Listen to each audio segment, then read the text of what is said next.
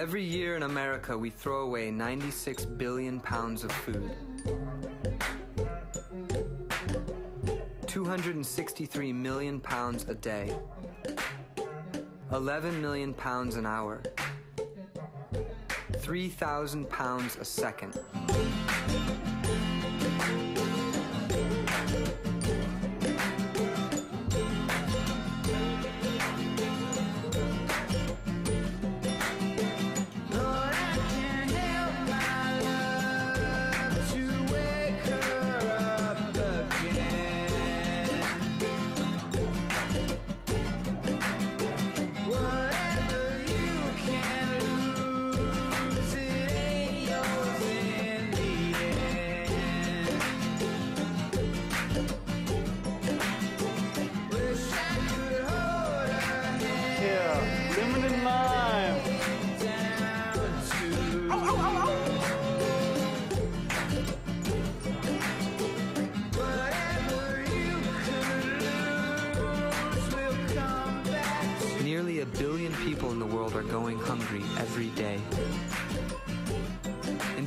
States, even our trash cans are filled with food.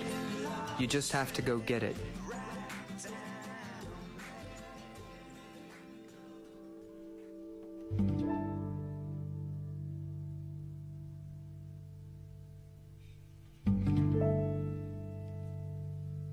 So there are three basic rules to dumpster diving. Rule number one Never take more than you need, uh, unless you find it a good home. Rule number two First ones to the dumpster has first dibs. But you always gotta share. and rule number three You leave it cleaner than you than you um uh, found it. You, you leave it cleaner than you found it. Does that sound right? It's an unusual night in LA because it's it's uh, freezing outside. Freezing for LA, so I think it's you know 43 to 45 degrees, which is good because it keeps all the meat and stuff cold when it's been dumped. Oh, Here's the meat. No antibiotics ever, no added hormones ever, free range. It's good meat. all of these perfectly good eggs because one was cracked.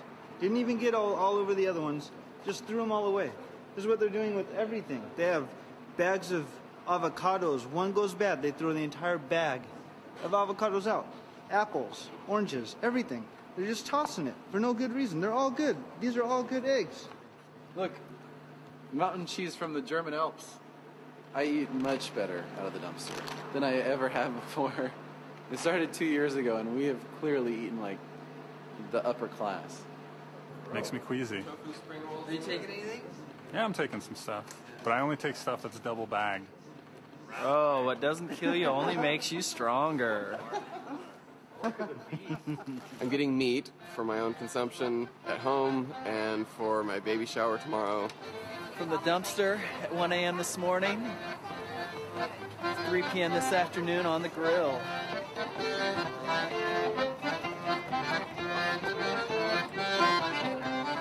I think I'm going to have a pretty healthy kid. We're not making a public announcement to everyone telling them exactly where their food came from. Just like we wouldn't tell them that we went to Vons or Ralph's to get their food, but um, I would say most of our friends are aware of the fact that we get all of our food in the dumpster, and they think it's pretty cool.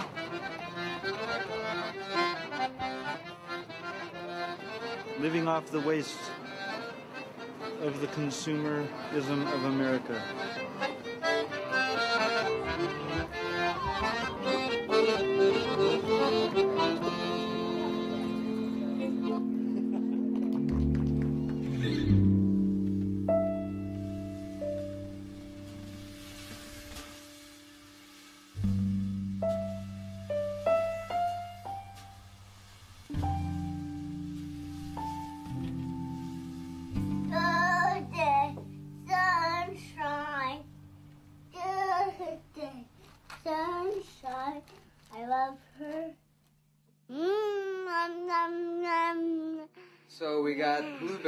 Last night. A lot of blueberries, and Finn loves blueberries. We're gonna wash them, and then we're gonna have blueberry pancakes. The dumpster stuff is really great, but because there's such a large quantity of it, it can turn into a lot of work. So we have to sort through everything, throw out the bad stuff, clean everything. Um, there's like I don't know, 12 packages of strawberries in there that now I need to wash and freeze and cut. And um, it's not that big of a deal, but it's just uh, a lot more work than just going to the grocery store and picking up exactly the amount that you need. 15 or 20 packages like this. Occasionally, I wake up in the morning and kind of dread the cleanup that follows the dumpster dives. My wife's gonna kill me. She's gonna wake up in the morning and all this food's gonna be Rotting in rotting in my room. kitchen. but Finn will have a lot of strawberries. Even though we still had to buy groceries, we really began living off food pulled from the trash. Eating food out of dumpsters is repulsive to most people, but there is a certain beauty seeing garbage transformed into a meal with friends, and better meals than we could ever afford to buy. Especially when our friend Alfonso, a professional chef, would cook up gourmet dishes from food we had just scrounged out of dumpsters. Look at that. Oh, that- The tri-tip asada. That's pretty decent. This not good. Yeah, I don't think This fish. I don't know about the fish. Oh, it's good. It's still cold. The chicken was looking a little funky, a little like purplish. Food makes up about 20% of landfill waste, which means we're feeding our landfills as much as we're feeding our country. So instead of rotting underground, packed beneath the earth, and producing harmful methane gas, this garbage was feeding my family and friends, and doing it in style. Well, this will be blood orange and onion salad um, with a tronçon of um salmon stuffed with feta cheese and um, spinach. Uh, rescue from your local dumpster, and um, a beautiful uh, blood orange citrus beurre blanc. The cake is made from one dozen dumpster egg whites. The strawberries are 100% dumpster and delicious. Dumpster delight.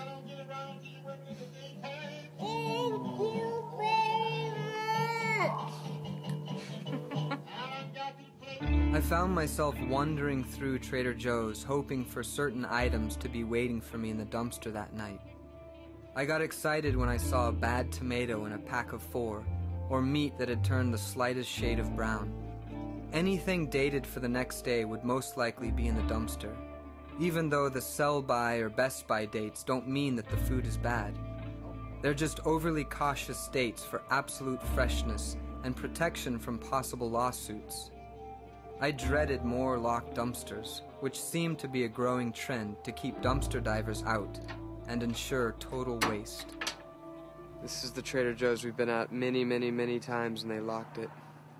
So the food can then rot inside the dumpster instead of people getting it. That's that's smart.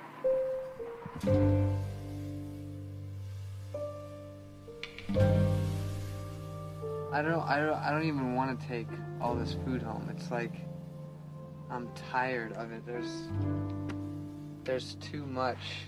And I uh, we only took this much cuz we didn't want it to go to waste, but I like it's like almost 2 in the morning and I don't have anywhere to put it really. Even though I would be breaking rule number 1, I decided to buy a freezer for all the excess food. We rarely saw other divers around town, so I knew that most of the discarded food was ending up in landfills. I had to save as much of it as I could. There's so many, like, So a, much a handbook for a freezer. I thought you just plugged it in, but Well, that's what I did, and Okay. it's been fine. I, I'm, I would rather donate it to your good cause. This What? Is, yeah. No, yeah. Are you serious? Yeah, no, I'm serious. Yeah, because. Wow. Oh. Thank you. anyway, we got it in the garage For free. for free. Donated.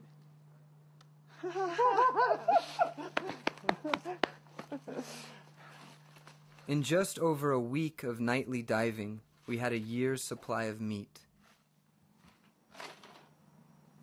So the freezer is totally filled up. There's just a a little layer of some bread and stuff. Uh, just not because I didn't find enough meat, just because we're just tired of meat. You get kind of picky, like you don't want a lot of the same thing. So there's a really nice variety of uh, meats in there.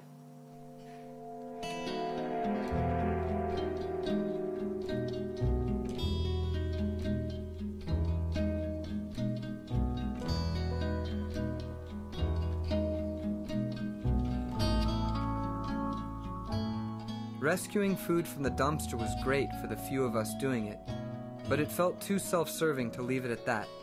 The question nagged me why is all this food being thrown out and not given to people who need it? I decided to ask the grocery stores.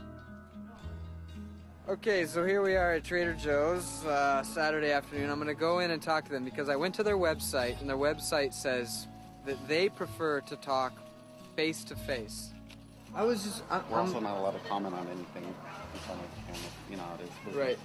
So none of the stores. None of them will talk to you. He's going to give me the card for the place I already called, which refused. So basically, it's impossible to talk to anybody on camera. I mean, even off camera, they wouldn't discuss details. So. No problem. I'm Jeremy. Nice to meet you. You got it. No problem. No. They won't talk to me. Company policy. No interviews. Nope. No interview. Call this guy. I got the card. For the number for the main office. But she said she'll see a pallet, and on that pallet are four trash cans, and those trash cans are all filled with meat. And all of that gets thrown away.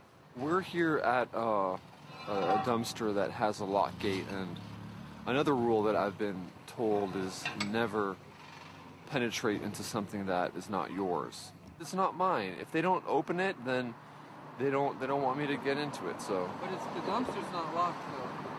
but the gate is.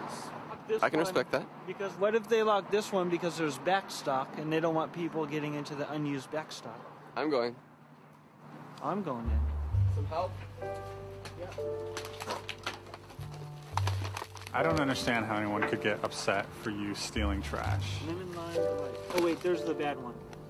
That's the only bad lime I've seen in the whole bunch, though. You're- You're stealing the waste, you know? This is something that has been discarded and just wants to be forgotten about, and you you take it. Check that out. Um, I don't see how that can be conceived as being criminal in any way. But seriously, do you not do you not take this food? You just let it like rot? I mean, limes that have been shipped up from Mexico and like cheese from Germany and meat from uh, you know Chile and I mean, do you just let it rot because there's a fence, Well, or do you get it? um, it's it's kind of. I, I'll get back to you on that. I can't. I'm not a fast thinker. I believe that that uh, dumpster diving is civil disobedience. Uh, it's nonviolent civil disobedience because I believe in what I'm doing. I believe it's right, and I'm willing to break the law. And I don't believe I don't. I take it seriously to break the law, but I believe it's just. I believe in doing it. If I get caught and arrested, I'd, I'd be proud to say I got arrested for eating somebody's waste. I think it's just. I, I think it's uh, just and. I'm willing to pay the consequences for that. I, I do it openly when, when, when they catch me or people come. I shake their hand. I tell them what I'm doing. I say where I'm from. I say what I do with my life, and most of the time they're very friendly. Um, this is private property. Yeah. Okay. So there's like trespassing issues. Okay. But if you guys are cleaning up, if you guys Oh, we will. I swear to God. How much longer? Uh, about 10 minutes. Five? Make it five. You guys have a nice day. Alrighty. My name's Paul. Sure. So It is technically trespassing, and um, and it is against the law. Thanks, Jeremy. Well, thanks, guys. We're heading out. That is where the conflict comes. Is the conflict between what I believe is just and what is legal, and this lifestyle I believe is is more just than going into the store and buying stuff with money, uh, but rather uh, this is a, a totally different and outside the system way of, of living.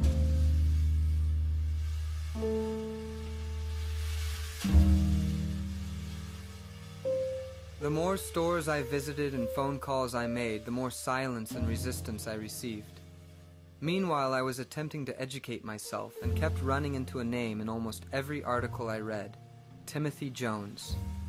Dr. Jones was former head of the Garbage Project at the University of Arizona and probably one of the world's most knowledgeable people on waste. In his 16 years with the project, Dr. Jones found that what we throw out in its nearly unrestricted quantity and variety reveals a lot about us as a society. I gave him a call. The next level you come to are the commercial level. There isn't even any training in reducing food loss. It's not even a concept. It's not in their manuals, you know, about reducing food loss. And I'm not putting them down. I'm simply saying it runs through the whole society. They're just no different than anybody else. When you waste food, you're throwing away life because it took life to be able to create that food. And we've lost that. It's, it's more perceived as a commodity, just like an automobile or something else. 50% of all the food that's up and ready to harvest never makes it into somebody's stomach. If you waste half that food, all of the production that went into it is wasted, right? So all it took to transport it and to grow it, the fertilizers, the increased soil degradation from the farming and everything else, that if we were to cut our food losses in half, we would probably reduce our total overall pollution rates by about 10%.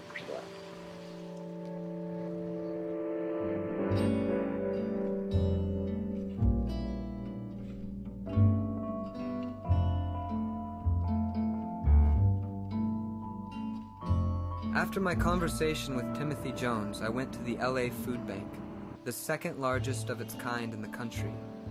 Since nearly all donated food from grocery stores goes through the food bank, I hope to get a better understanding of the situation.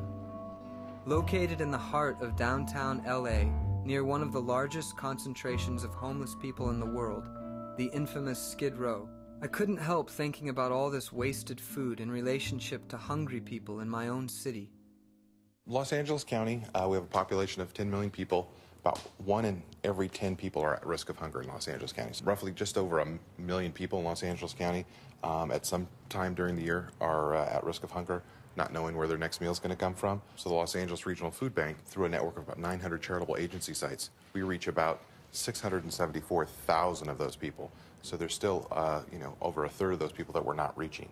So that's that's how big the problem is here. Even a food bank of our size, 100,000 square foot facility, distributing 34, 35 million pounds a year, still not reaching the demand here in LA County. It's a big problem here in America where you do have all that kind of uh, food and resources available that you still have people falling through the cracks. Um, and that shouldn't happen in this country. We export billions of pounds of food to other countries too, on top of what we keep here. And we're still not making food available to everybody here in America, which is kind of a sad state of affairs, isn't it?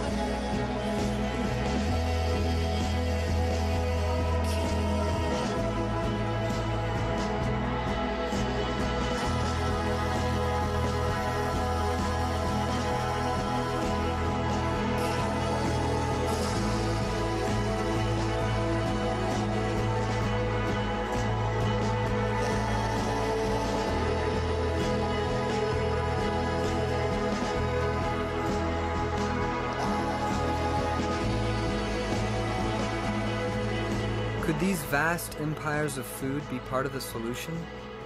Many of them already were. Almost every major grocery store is on the LA Food Bank's list of donors. The question is, could they do more?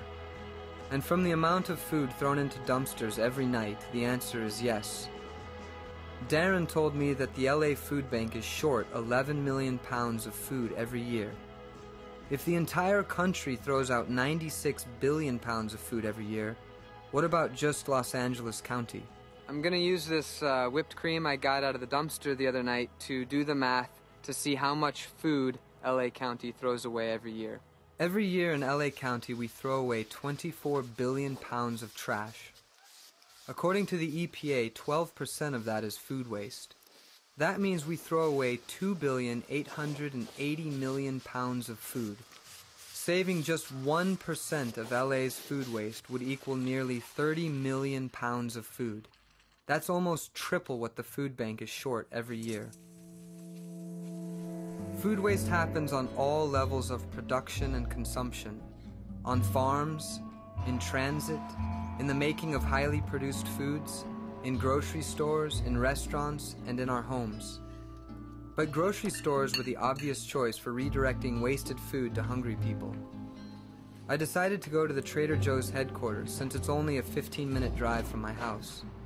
But I was a bearded, mangy dumpster diver and thought I better clean up before talking with sophisticated business people about policy changes in their companies. The haircut and the shave and the tie did absolutely nothing uh, for me. We didn't have the camera rolling or anything, we just walked in and I asked to speak with someone and they said, We're gonna have to ask you to leave because you can't be asking questions about Trader Joe's. I can write a letter to the CEO of Trader Joe's, which I will do. We're picking on Trader Joe's because they happen to be the best uh, store to dumpster dive at, so we know we've pulled a lot of food out of their dumpsters in particular. I still couldn't believe that there were actually hungry people in the United States, the richest country in the world. So we stopped by the regional offices of Bread for the World, an organization working through political means to end global hunger. There are hungry people in the U.S. I'd say there are about 35 and a half million people in the U.S. who are food insecure, and that's a, a silly phrase, but let's say 35 and a half million people in the U.S. don't know where their next meal's coming from. But about 11 million people in the U.S. are actually going hungry. And, and let's define that by saying they're just not going to eat today. Simple as that. They can't get food.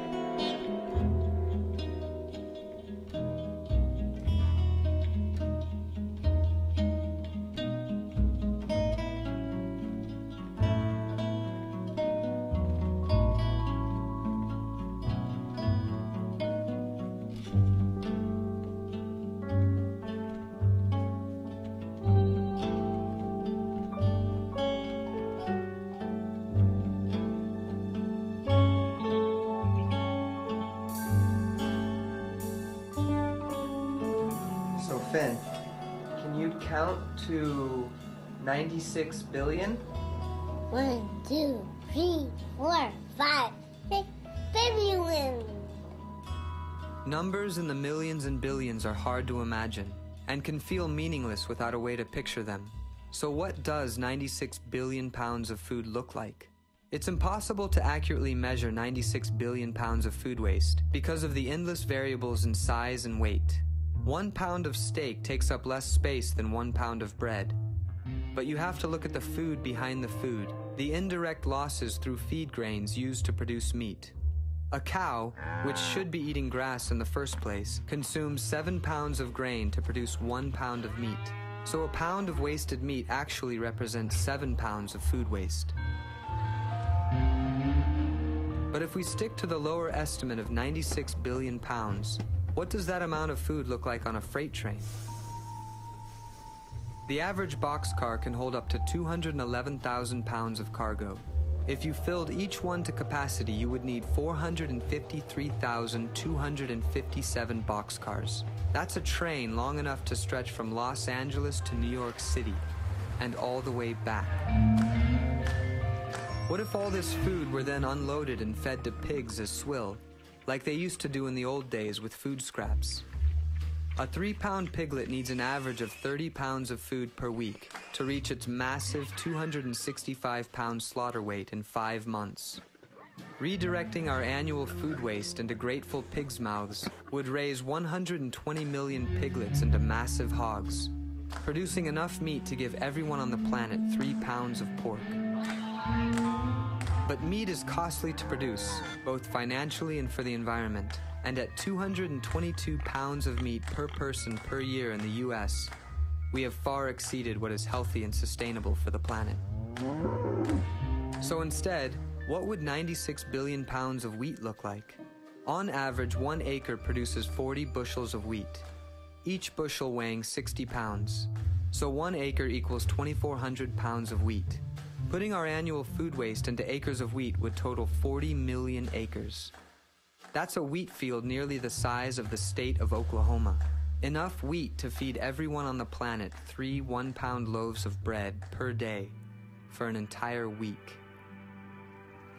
Or maybe a better way to picture how much food we waste would be to travel just 600 miles from our southern shores to the tiny country of Haiti. With our 96 billion pounds of food waste, the entire country of Haiti could be fed for five years or more. Here, in the poorest country in the Western Hemisphere, 25% of children are chronically malnourished. Reduced to eating mud cakes made from dirt, salt, vegetable shortening, and filthy water to curb their hunger pangs. Unfortunately, we can't simply put our wasted food on a boat and feed Haiti. And that's not what Haiti needs to become whole again. But the contrast of our excess and their lack exists side by side, as with the needy and marginalized in our own wealthy country. If nothing more, it is an unsettling reality that calls into question our flippancy with food waste.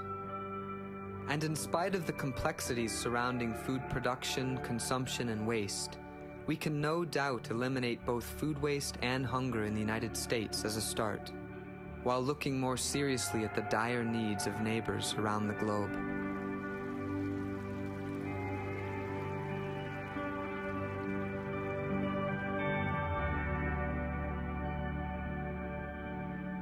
Here's my letter to Dan Bane, the CEO of Trader Joe's. I've also included a copy of the Good Samaritan Act, which was signed into being in 1996 by Bill Clinton, and that encourages grocery stores to donate food and it protects them from being sued. So I'm just asking him to um, consider moving Trader Joe's into the next step of simply not wasting uh, as much food and getting it to people who need it. I figured the CEO of Trader Joe's probably wouldn't get back to me after one letter, so I've decided to send him a letter a day for the next month. A letter went out to TJ's CEO, Dan Bane, every morning, and we continued diving as normal. Time passed, dumpsters swelled with food, and then suddenly, the landscape changed. We began seeing more people at the dumpsters, and not your typical divers people that seemed to need the food a lot more than we did. As I waited to hear back from Trader Joe's about all the food in their trash cans, the world spiraled into a food crisis.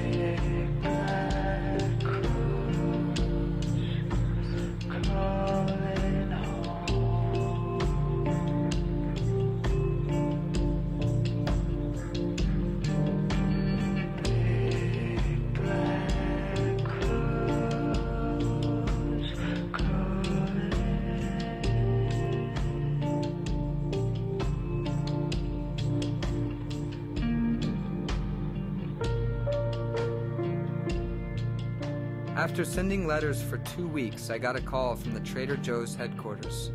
Allison from Public Relations asked me to stop sending letters and to please stop bothering them.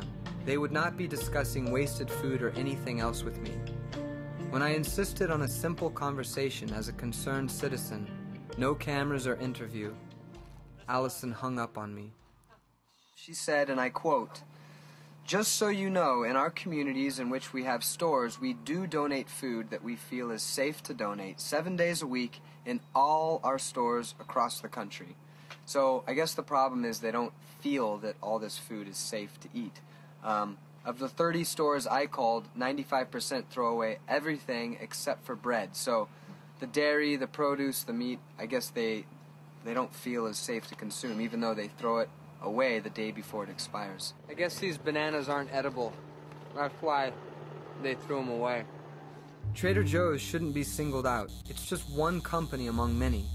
Ralph's, Vons, Safeway, Whole Foods, Costco, Sam's Club, and many others throw away staggering amounts of food every day. But stores are only part of the problem of food waste. All of us throw out perfectly good food on a daily basis. We let it rot in our refrigerators. We toss leftovers because they don't sound good. Or we're afraid because we don't know enough about food to judge whether or not it's edible. Wasting food is a bad habit that permeates all of society, implicating all of us in the problem, which means we're all responsible for creating a solution. Of the total amount of food loss going on, about 40% is in the household. Overall, a typical household of four loses about $600 in food a year. What we saw was among younger people, let's say under 30 years of age, was this complete lack of understanding of food. They don't know when a food has gone bad. They're scared of food. This this half is bad, I think, right here.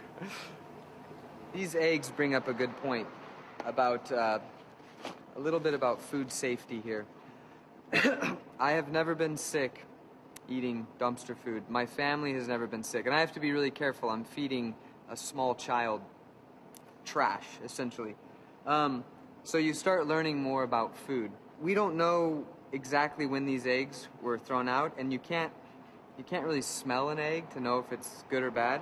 So I researched it, and what you do is you take the egg and you get a bowl of cold water and you drop it in, and if it sinks to the bottom and lays flat, it's perfectly good. And if it angles up, it's a little bit better for baking, and if it floats, it's terrible. So these eggs are enjoy by November 19th. Today is October 21st. So I'm not sure why they threw these away, but we'll uh, test them and make sure they're good. It's really slim pickings. There's so much food, but it's all buried underneath. This mountain of trash It's all crushed. So basically, I have uh, breakfast for the family, eggs and toast for about a, a week. People kept telling me about the issue of logistics, how there's enough food available, but the difficulty of storing it and transporting it to needy people make wasting food more practical. Do you food waste, or do you have an idea of loading the bread? No doubt, there are real complexities, but my son Finn solved the problem quite easily. Pick up the food, then take it to hungry people. But this requires people caring and volunteering. The public will and political will to end hunger is, is not great enough. If people cared enough to make this a, a huge priority in, in our policy work, then we could, we could end hunger in the U.S. I mean, almost, not overnight, but I mean, pretty rapidly.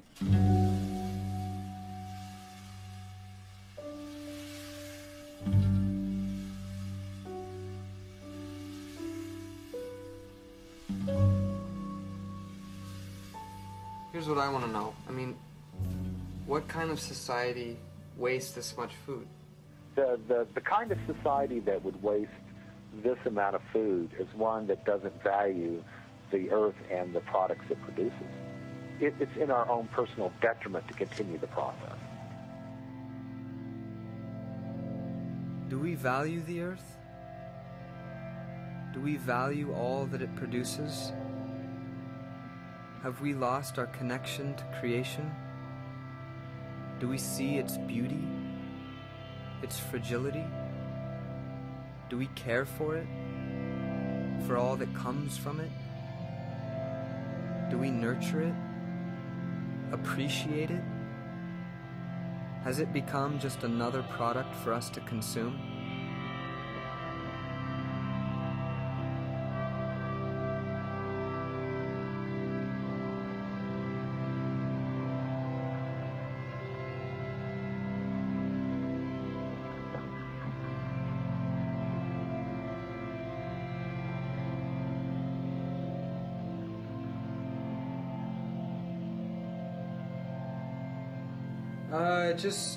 Finished some potato leek soup made from ingredients from the dumpster dumpster. and some eggs from the dumpster. You got it for the dumpster. I don't know if dumpster diving and eating food from the dumpster has made me value food more or value food less because it's easier now to throw food away because we have so much of it. And so part of me, I think that I'm valuing the food even less. Energy. You, can't waste food, Dad. I know. I don't want to waste food. Do you want to waste food? Mm-hmm. I don't want to waste food either. It's not fair that you can eat eggs. You can eat it for lunch. I that's what I'm talking about. Eat it for lunch. No, you eat it for lunch. No, you eat it for lunch. Don't waste it. You got to eat it.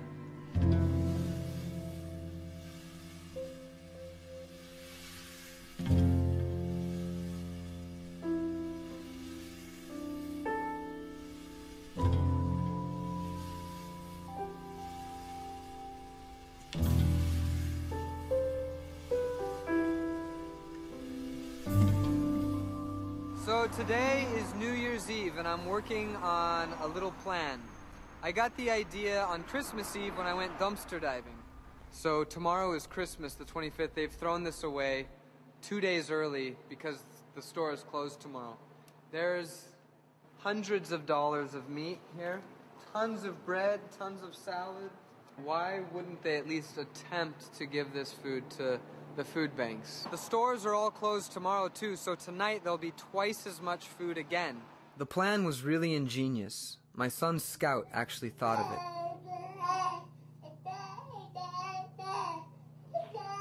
I would try going through the front door instead of scavenging through dumpsters.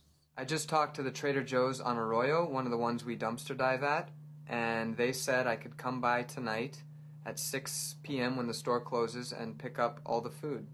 So maybe that's better than jumping in their dumpster. so that one Trader Joe's gave us six grocery carts uh, full of food.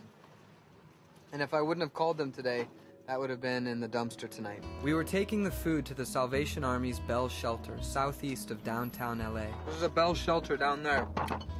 Here we are. The shelter is a halfway house offering long term treatment for substance abuse and mental illnesses. They provide room, board, and treatment to 450 people. Hey, is this uh, Salvation Army? Yeah? Okay, thank you. We should have had 10 truckloads of food, but many of the Trader Joe's I had called didn't want to take the time, and a Whole Foods store backed out at the last minute. Sandra, the lead cook, told me that getting enough food is a constant struggle, especially as the country's economic crisis deepens. Hi, my name is Sandra Martin. I'm the lead cook for the Salvation Army Bell Shelters Kitchen. We supply breakfast, lunch, and dinner for about 450 people a day. If we wouldn't have picked up this food tonight at Trader Joe's, it would have gone in their dumpster. It Would- would- is it better for you to get it? It's better for us to get it. Hey, thank you guys, all right? All right, Colonel, sell the news or what? Yeah, Happy New Year. Happy New Year to you, bro. Thank you very much for coming, okay? Happy New Year to you, all right? God bless you. We all felt pretty good. The night had been successful, though on a very small scale. Approaching individual stores had worked much better than going to corporate headquarters. But saving perishable food requires organization and work, and it's difficult convincing stores to give more than bread and dented cans.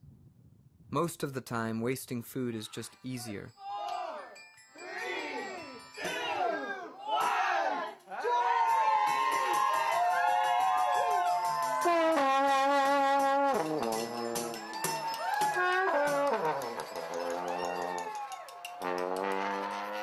I'm at one of the Trader Joe's that told me that I couldn't pick up food because they were giving it to someone else tonight. Uh, and I looked in this one dumpster and just pulled out this bag.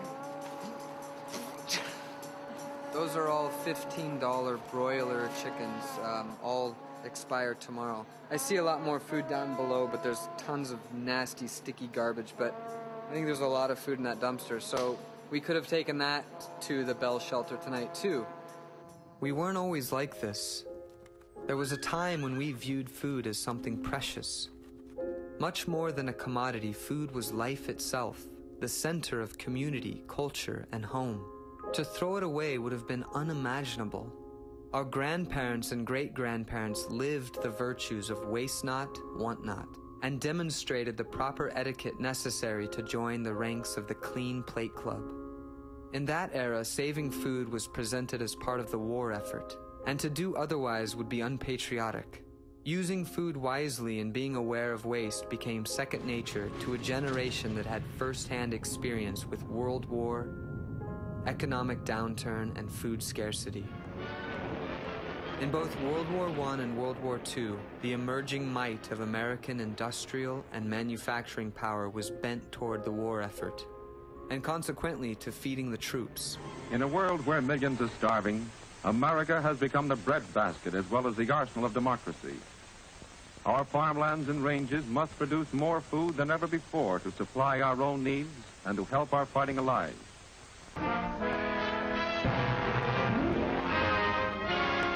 With science at his service and the greatest food producing country in the world backing him up, the American soldier, no matter where he may be, in the jungle, in the Arctic, the desert, or in his home camp, can rightly consider himself the best fed soldier in the world. And in the future, the war-born knowledge that has made him so, when spread over the world, can guarantee that no one on earth need suffer from malnutrition or from hunger. Ironically, the advances in reducing food waste and increasing production through new food science, efficient packaging, and distribution laid the foundation for modern agribusiness, and ultimately a broken food system that wastes one half of all that it produces. Food has often been linked to war and its accompanying imagery. Napoleon Bonaparte's famous quote, An army marches on its stomach, found its World War I iteration with, Food is ammunition, don't waste it.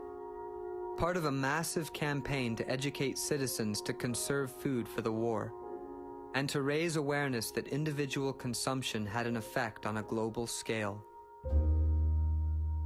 Much of the war propaganda of the day urged people to buy local, fresh, and seasonal food, to plant edible victory gardens, to eat less meat and more veggies, to raise chickens for eating food scraps and providing eggs, to can, preserve, and dry excess food for the coming months. And not only were people urged to clean their plates, there was less on them to begin with.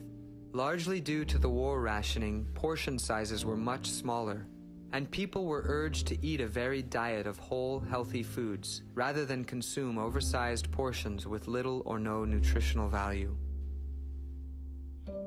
Although our tastes and habits have changed, many of the ideals embraced by our great grandparents' generation haven't. The language of the past may be couched in war terminology, but the parallels between that time and ours abound. We are experiencing a new resurgence of the same type of consciousness that existed then. The main difference being that now it's happening on a grassroots level. The rise of edible gardens in urban environments, an increased emphasis on sustainable living, a growing trend of keeping backyard chickens, and a widespread shift towards buying organic, seasonal, and local products all directly reflect the fundamental principle that food is precious. Food is not ammunition. Food is life, and it should never be wasted. And if saving good food is a value that resonates deeply in our national character, shouldn't the establishments that provide us with food reflect that value? And shouldn't we be practicing it in our homes and communities as well?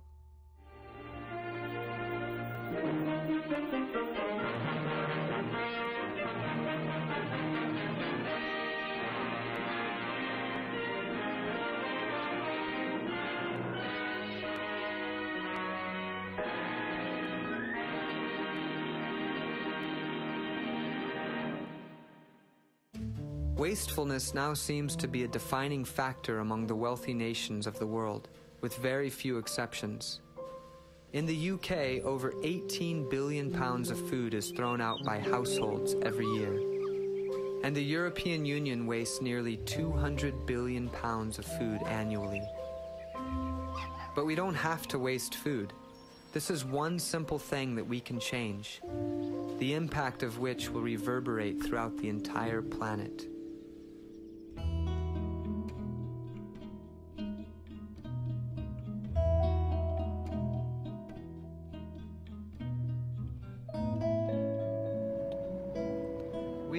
Way to a food bank called God Provides. I discovered them when I was trying to pull off the New Year's Eve uh, truckload of food to the Bell Shelter.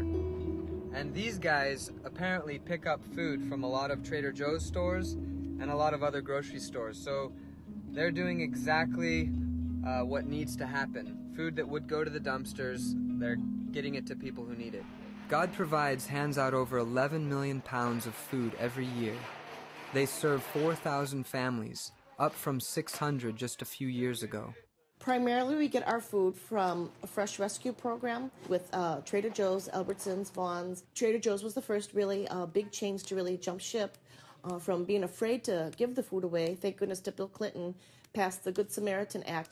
Uh, when it's really close to the expiration dates, uh, we're able to freeze it, which time locks the uh, expiration dates. We freeze all the yogurt and dairy and food. If you guys didn't pick up that food and you didn't have that set up, that food would most likely go into the dumpster. Yes, and if we're not on time, if we're a few hours late, it's in the dumpster. Most families, we give them so much food by cases of produce that we tell them that we hope we give you so much food you have to go next to your neighbor that you don't talk to and give them some food. God Provides opened me up to the good some grocery stores are doing.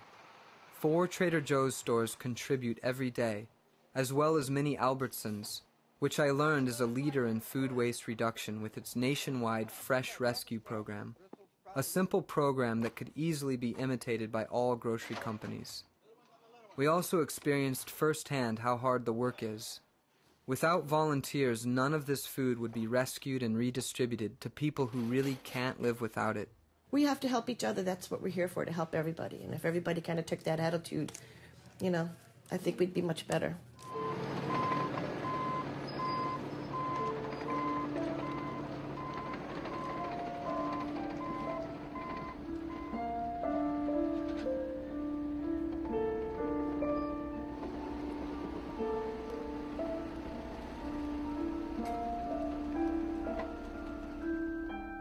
Sometimes I wish we could take back all of this waste.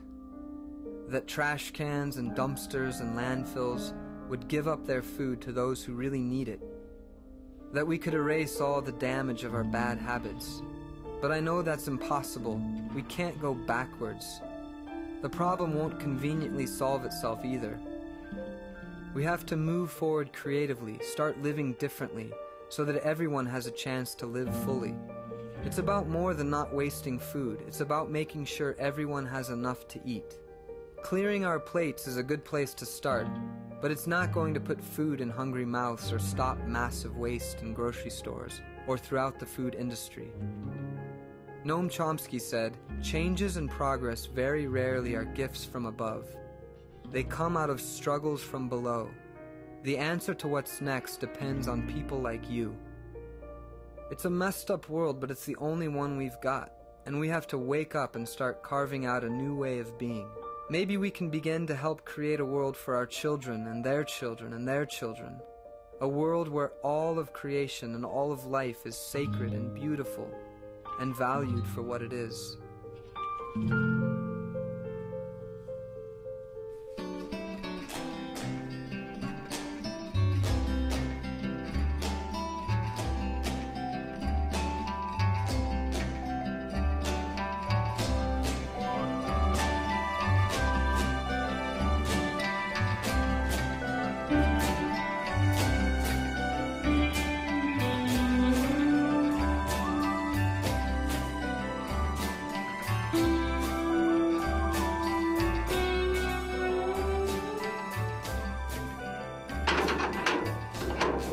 Say, Jeremy, is ever since you started this documentary, the dumpster diving has been terrible. Thanks, bro.